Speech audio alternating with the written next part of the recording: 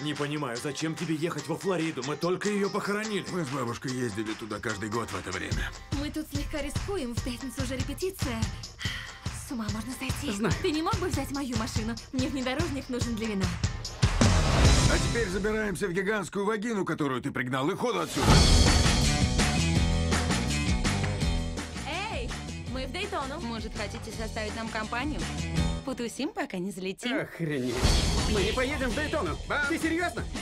Вчера были бабушкины похороны. Она сказала мне на смертном одре, иди и возьми свое. Эй, дед, Он назвал вас дедушкой? какого хрена? Будь ягненочком, принеси клюшку. Ни разу не бывал в студенческом лагере? Нет, знаешь, тут у каждой третьей девчонки герпес. Даже если это не видно.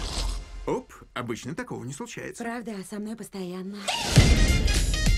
Вы Дейтона-Бич? Мы просто проезжаем. Она тебе не подходит. Женишься на ней, проживешь всю жизнь как лунатик. По-моему, это наш последний бой. Веселись до залета!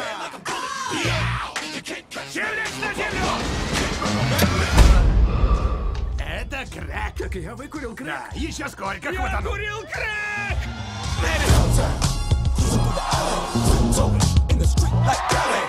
Хочу, чтобы ты знал, как я благодарен тебе за помощь. Ты что, голый? Так спать лучше всего. О, боже.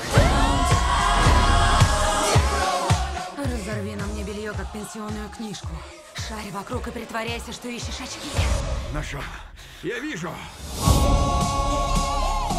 Лучший подарок, какой может сделать внук своему деду, это горячая студенточка, которая займется с ним сексом, прежде чем он умрет. Обычно дедушка просит скамеечку.